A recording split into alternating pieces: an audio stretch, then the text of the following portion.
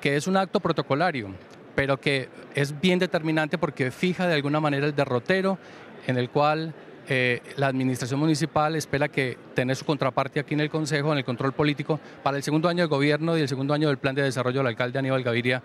eh, Medellín, una ciudad para la vida. Bueno, un saludo muy especial a todos los televidentes. Eh, decirles que muy complacido hoy con la noticia de que hayan declarado a Medellín una de las ciudades más innovadoras del mundo. Eso es una gran oportunidad que nos permite eh, y nos compromete mucho más en la calidad del debate y en la calidad de las decisiones que vamos a tomar, porque se requiere acoplar todos nuestros planes, enderezar toda nuestra rutina y buscar que todos los ciudadanos estemos incluidos en un propósito tan loable. La corporación va a trabajar temas trascendentales y fundamentales para la vida económica, social y política de la ciudad. Entre ellos vamos a tener eh, que enfrentar la transformación de UNE, en una posible fusión con una multinacional, el tema de la transformación de empresas varias con empresas públicas, el cuidado, la protección de no vulnerar derechos laborales de los trabajadores.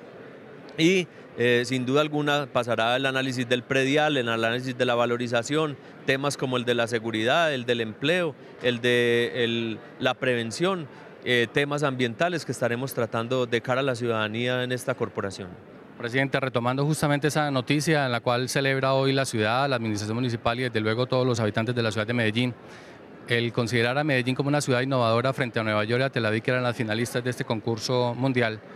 eh, ¿qué impacto de tipo económico tiene? Porque mucha gente dice, los detractores, por ejemplo, podrían decir, eso es una cosa cosmética, pero ¿qué impacto de tipo económico tiene eh, realmente para, para la ciudad?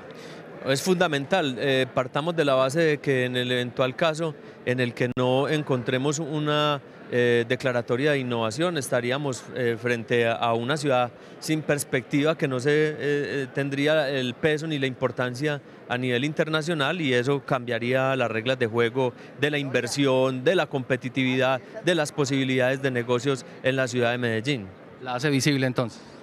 Es una ciudad completamente visible y una ciudad que posibilita todas las condiciones de, integrarse hacia eh, los mercados internacionales y de venderse como una ciudad que debe ser un destino obligatorio de los innovadores, de los turistas y hay que prepararnos para eso. Presidente, pues ya